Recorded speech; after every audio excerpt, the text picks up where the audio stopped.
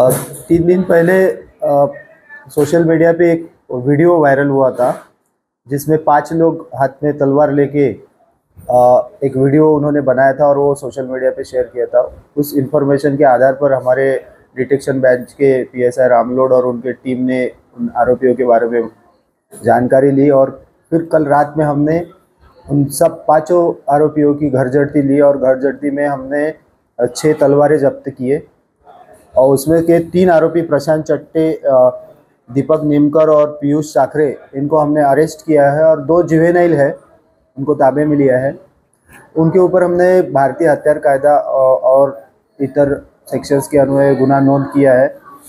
मेरी सबसे रिक्वेस्ट है कि इस तरह से शस्त्र या वेपन्स हाथ में लेके, आजकल ट्रेड आ गया कि वेपन हाथ में लेके सोशल मीडिया पे पोस्ट करते हैं लोग तो वो कानूनी नहीं है और उन पर कठोर कार्रवाई की जाएगी।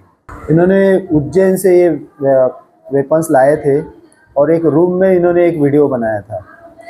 वैसा एक प्रशांत चट्टे, इसका एक क्रिमिनल रिकॉर्ड है, उसके ऊपर एक जाडपोड का एक एक ही ऑफेंस रजिस्टर है, बाकी आरोपियों पे कोई गुन्हे नहीं है। पीएसआई रामलोड डिटेक्शन ब्रांच के इंचार्ज है हमारे और उनकी टीम, उन्हीं की इंफॉर्मेशन थी।